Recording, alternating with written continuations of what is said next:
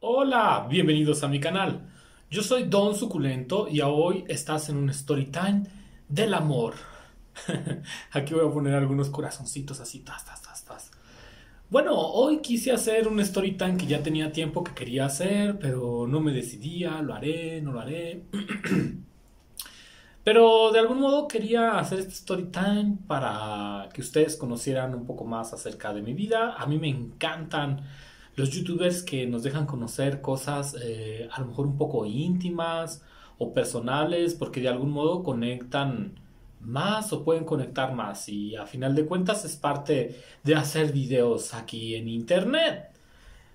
Ah, bueno, em, básicamente hoy quiero hablar acerca de si me gustan las mujeres. Este es un tema que yo desde que he estado en el mundo de las plantas siempre se ha puesto como en tela de juicio como de algún modo mm, el hecho de que yo haga jardinería con flores pone en tela de juicio esa situación. Si me gustan las mujeres, si me gusta el sexo opuesto, es algo que de verdad que sí me han llegado muchos. Igual no es una una eh, cascada de comentarios, pero sí me los han llegado como a hacer observación o a preguntar.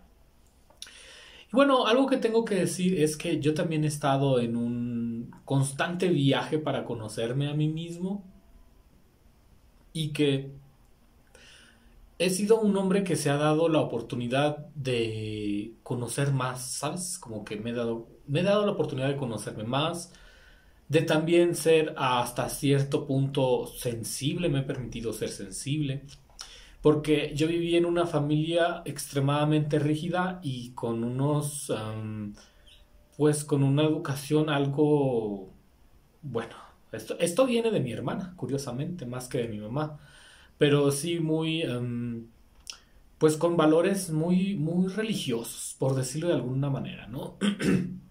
Yo en mi anterior religión, pues se nos enseñó como que a ser muy extremistas con estas cosas, ¿no? Por ejemplo, en esa antigua religión no se podía tocar a una mujer, pensar en una mujer y entonces para mí esto me afectó muchísimo, muchísimo mi identidad como hombre.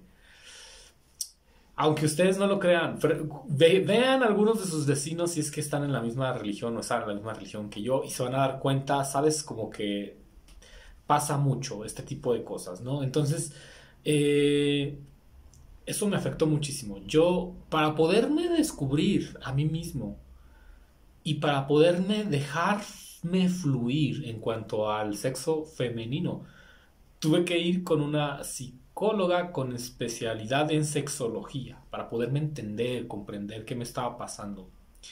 Cuando yo sentía o tenía sentimientos por alguna mujer, la verdad es que sentía mucha culpa, sentía que estaba pecando, que Dios me iba a castigar, muchísimas cosas. Sinceramente estuve en un lugar que me hizo muchísimo daño emocional y psicológico.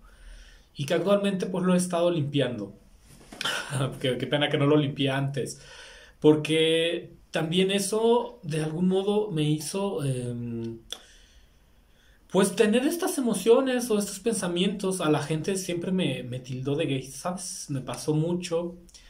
Yo, por ejemplo, recuerdo que en la preparatoria llevaba mi Biblia así en la mochila, le predicaba a mis compañeritos y entonces como que de algún modo se les hacía tan extraño que me tildaron de muchísimas cosas, eh, se burlaban de mí, cosas como esas, entonces de algún modo em, eso sí me afectó mucho porque no era como el típico prototipo de hombre que debe ser así y así y así y así y así, como pues em, macho mexicano.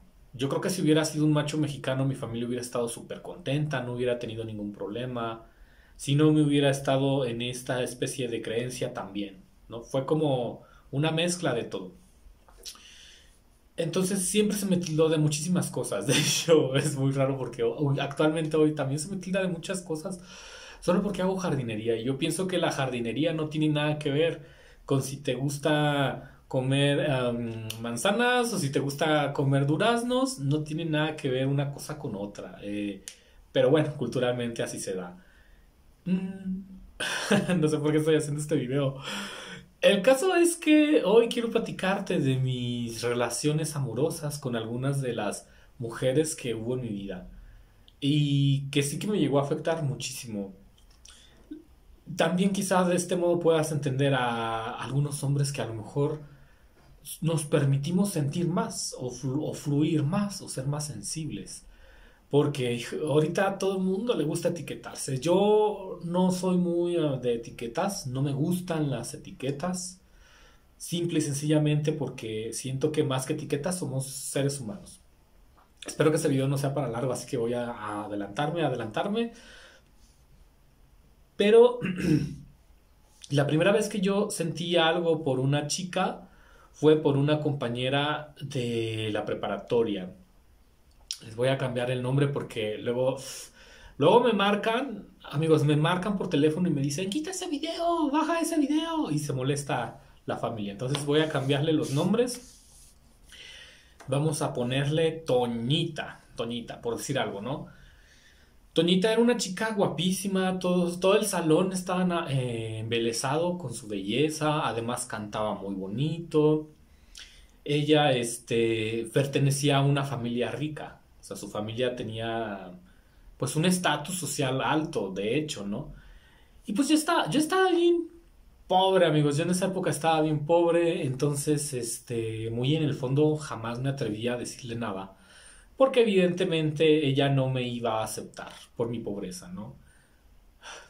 Son cuentos que a veces uno se inventa, pero que sí son importantes. Aunque ustedes no lo crean, queridas amigas, hablando, o amigos también, a veces los hombres pensamos de más y pues no, no nos aventamos. De todos modos, yo sé que nunca me hubiera pelado. O sea, yo lo, pienso de esa manera. Después de eso, en mi anterior creencia, cuando yo estaba en esa creencia, que en el salón del reino y todo esto, ahí fui cuando yo me enamoré de una amiga que le hemos puesto Gardenia porque ya sabes, guardar intimidades.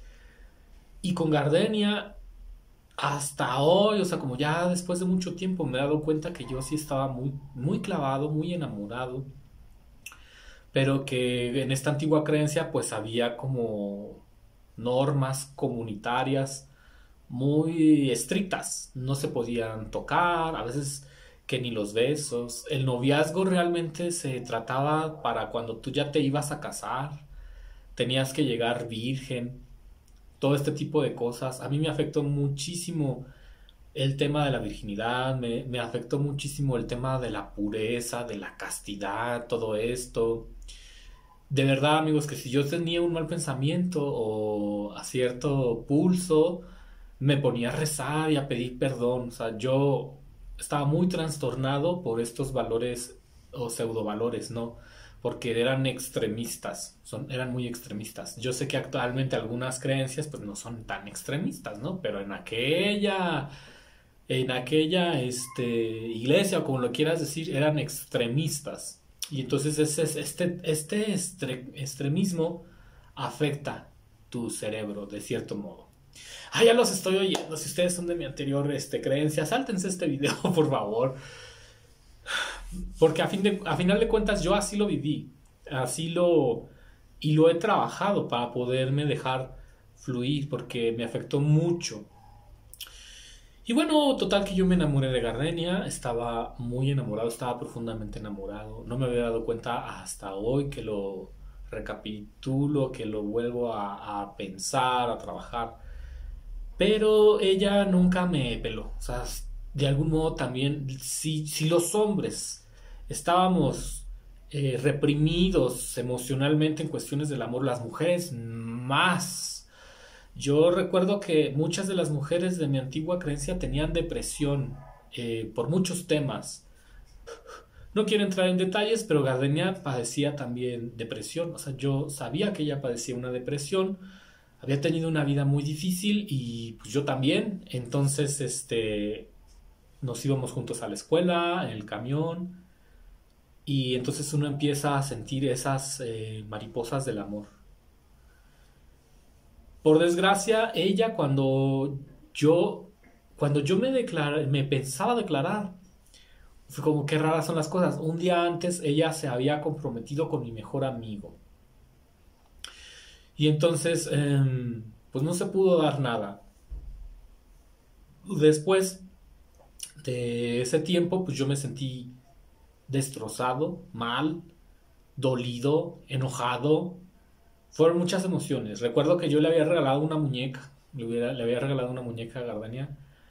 Ya tanto mi coraje este, que se la pedí de regreso. Le pedí que me regresara la muñeca porque yo estaba enojado de que no me había dado como más tiempo, más oportunidad o que se me adelantó el amigo.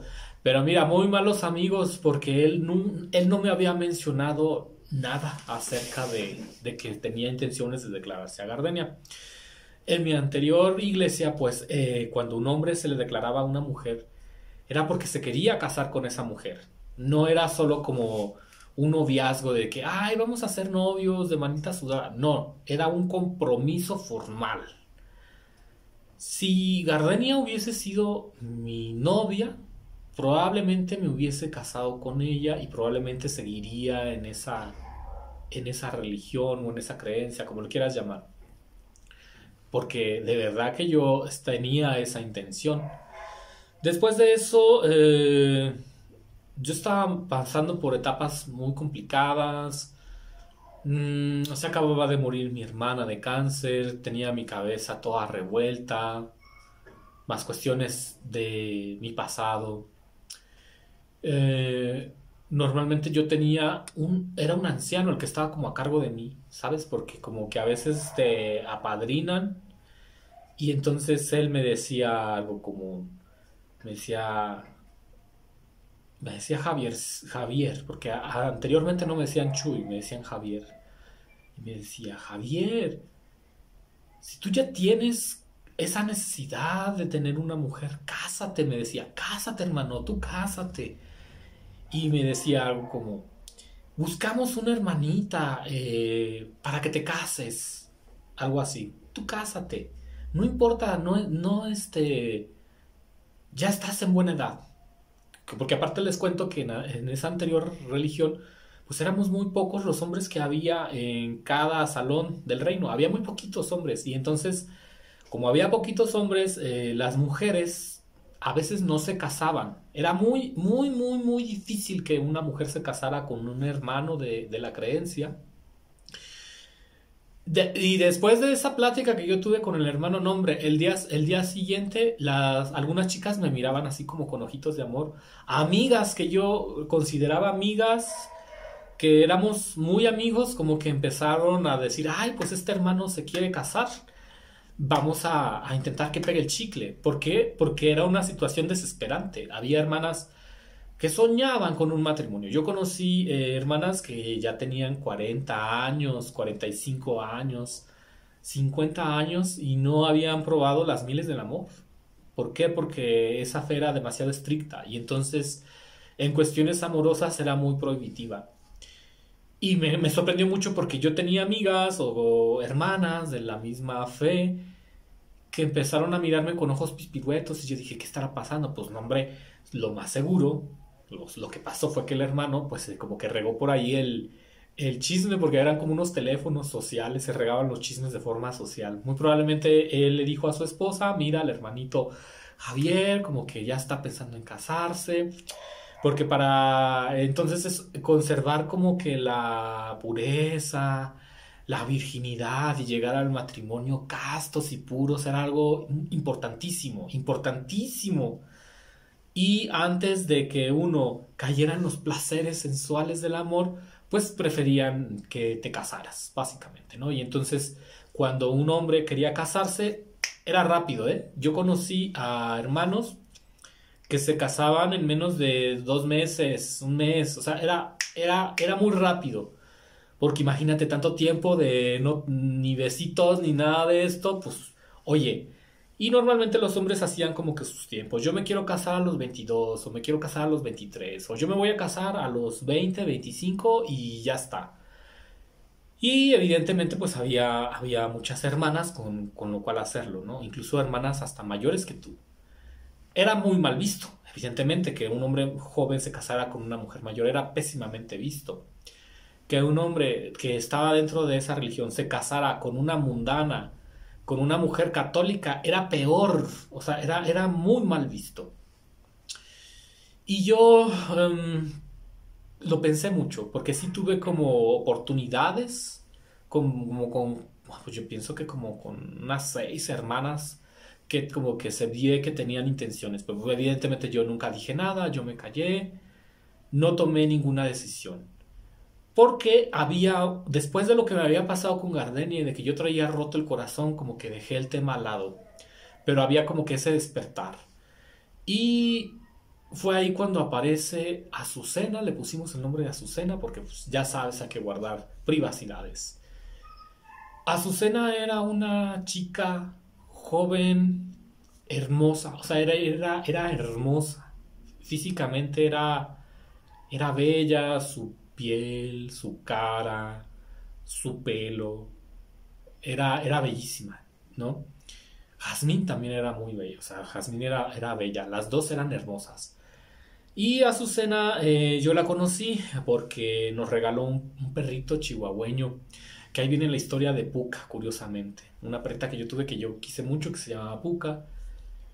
Y de Azucena sí hubo como un despertar, pero yo no dejé que esas emociones y sentimientos se desarrollaran. Dije, no, no me voy a dejar llevar porque no quiero que me pase lo mismo tenía muchas inseguridades, de por sí era un hombre inseguro, pues yo creo que en ese entonces más.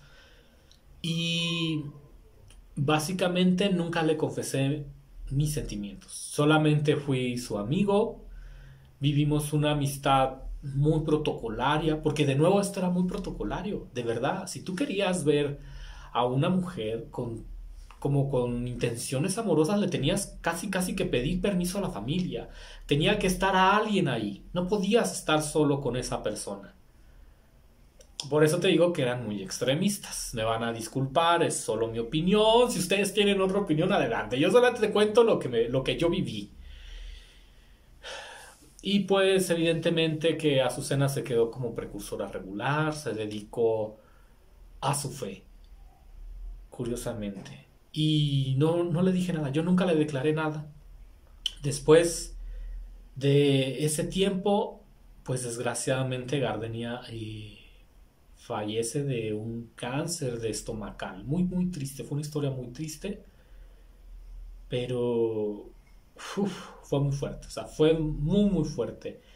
Yo en aquel entonces decidí que eso no era lo que yo quería de mi vida por cuestiones muy controvertidas. Yo no, les comento, yo no salí expulsado porque, híjole, hasta esos detalles.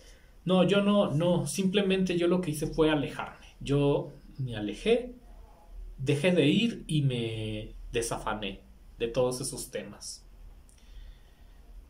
Pero sí noto que a lo mejor si yo no hubiera tenido esta creencia, yo pienso que sí le hubiera dado vuelo a la hilacha. Yo pienso que si hubiese sido bien noviero, pienso que hubiese disfrutado más mi juventud, mis etapas como esas.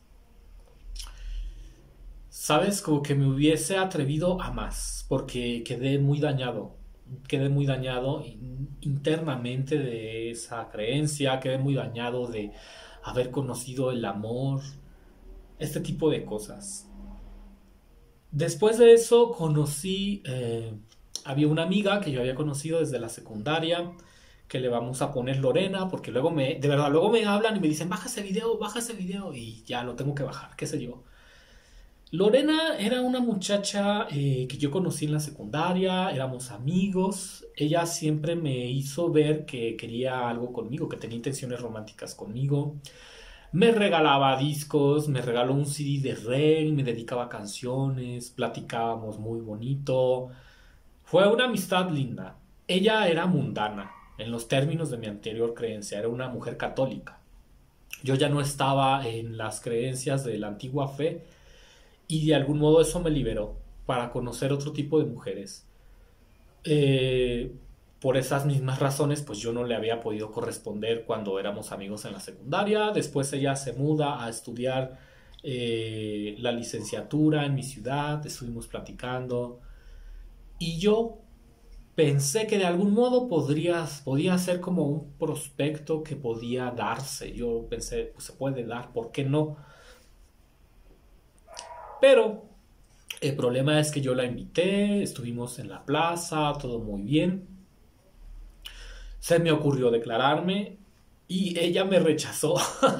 me rechazó. Me dijo, es que no sé qué decirte, dame tiempo, me tomas por sorpresa. Y yo sentí que el corazón se me hizo así, trash, que explotó y cayeron los pedacitos. Me sentí muy mal porque a final de cuentas era un rechazo. Me dolió muchísimo.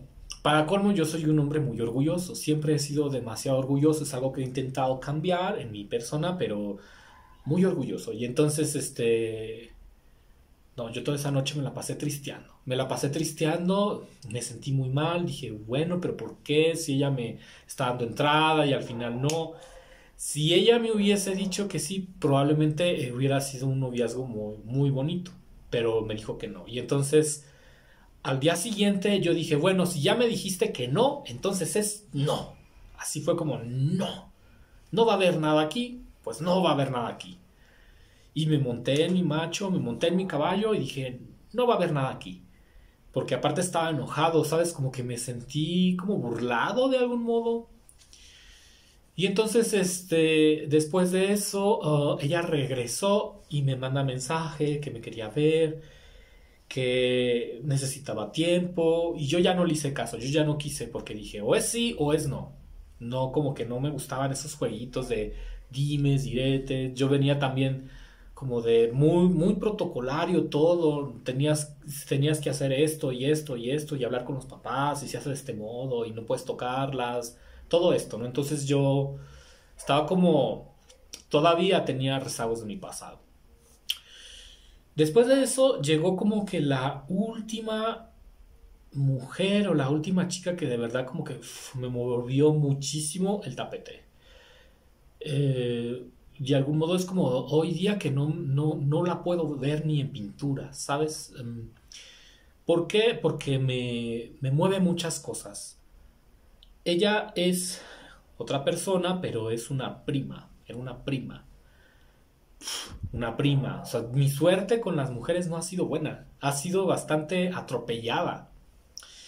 Y entonces, eh, ¿cómo le vamos a poner? Le vamos a poner Lola, por decir algo. Lola estaba estudiando en la ciudad, yo estaba en otra ciudad, como a dos horas de distancia. Tenía muchísimos años que no nos habíamos hablado, yo creo que unos 15 años ella era menor de que yo, o sea, yo le llevaría como unos probables seis años, más o menos, igual y no, no demasiado, pero como unos seis años, seis años, más o menos, según cálculo. Y ella estaba estudiando una carrera en, en la capital. Empezamos a hablar, empezó a fluir. Fue muy bonito porque de algún modo nos entendíamos muy bien, como que hubo match. Y fue correspondido. O sea, fue quizá la única, pues no sé, como que la única persona con la que hubo mucha correspondencia. Yo me empecé a animar, me empecé a emocionar, me ilusioné mucho. Eh, al principio fue como una amistad, pero después se fue desarrollando y se volvió muy intenso.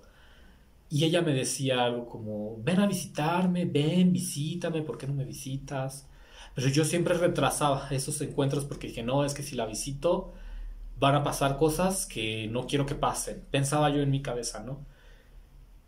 Entonces empecé a pensar en ella, no me la podía quitar de la cabeza. Yo no me la podía quitar de la cabeza, no no podía, simplemente estaba pensando en ella todo el día y luego le hablaba. Entonces empezamos a tener una relación como de noviazgo sin serlo donde yo le hablaba todas las noches, donde le hablaba todas las tardes, quería saber cómo estaba, ella quería que yo la visitara, yo me reprimía porque sabía que de algún modo no estaba bien este tipo de relaciones porque ella era una prima muy cercana.